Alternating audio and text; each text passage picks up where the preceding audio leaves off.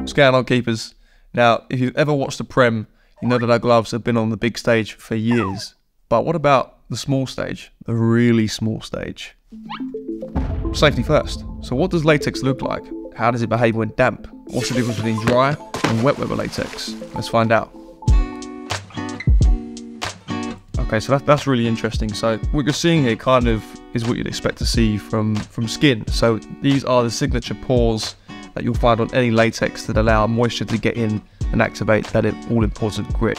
It reinforces why you need to look after your gloves. If these get filled with dirt, bacteria, sweat, you can imagine it's going to affect the performance, not just grip, but durability, and it will dry out the glove. Okay, so we've seen our all-weather latex. What about palms that are designed to excel in the wet? What makes them different?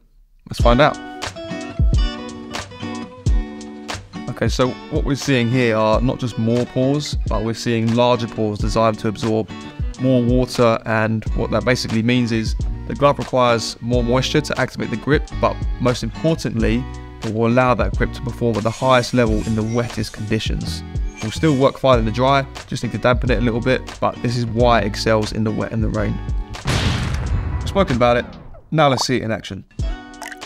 So you can see here that there is water on the surface of the palm. Now it's, it's not dominating the palm, it's quite sporadic and spread out in, in, small droplets, which is to be expected. It has to be absorbent to a degree.